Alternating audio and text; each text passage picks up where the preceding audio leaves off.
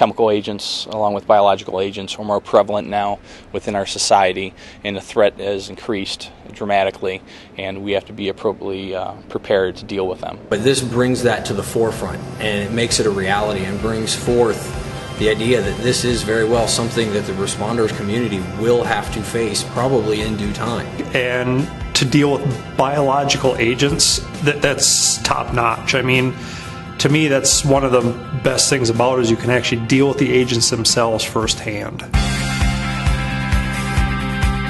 Bio is a real threat, probably a, greater threat than a lot of the other weapons of mass destruction. So the ability to train in a live environment, uh, feel comfortable in your PPE, and uh, really get up to date on all the current surveying te- technique was uh, something really beneficial.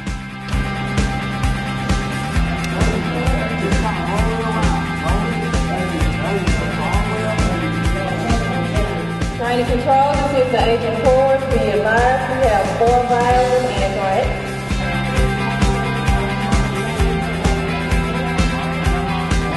Positive.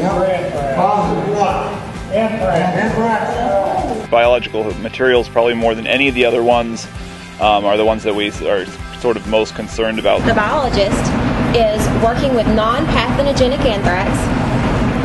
Right now, I'm taking an isolated colony from this plate and streaking it onto this plate so that we can grow anthrax for training. I had very little knowledge of the biologicals and even to some degree the chemicals prior to this week. Now I've got a lot more information. I'm armed with that information and I can utilize it in dealing with the public as they come on the property, as they we move them through the hospital system. That's ricin.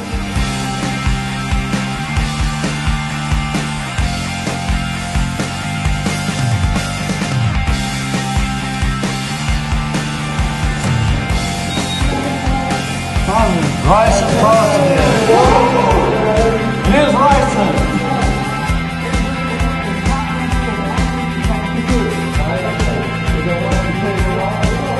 There's very few other places where you can get this sort of level of biological training and actual access to uh, materials and putting them in the test strips and, and, getting the results the way you really would in, the, in real life.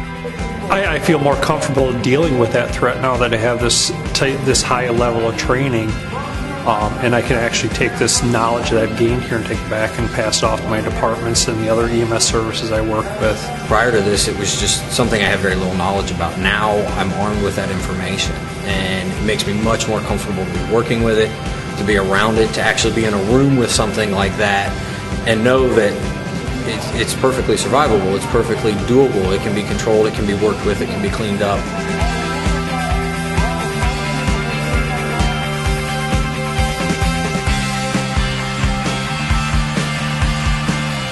Oh, this is telling me that it's positive for protein, and I would have to use another test to actually find out what it really is.